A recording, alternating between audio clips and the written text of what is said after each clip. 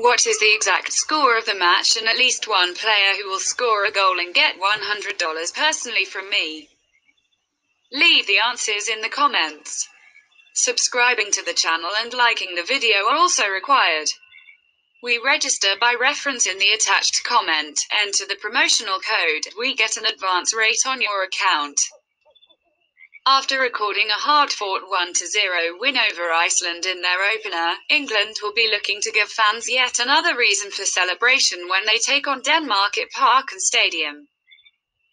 The Three Lions turned their dominance into late goal by Raheem Sterling, with Man United rising star Mason Greenwood making his England debut.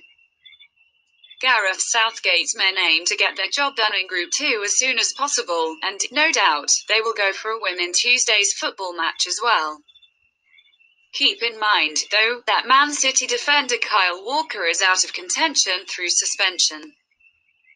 Denmark, on the other hand, failed to impress in a 2-0 loss to De Bruyne-less Belgium, and seeing that the game will be played behind closed doors, we believe that there is a big value in betting on England.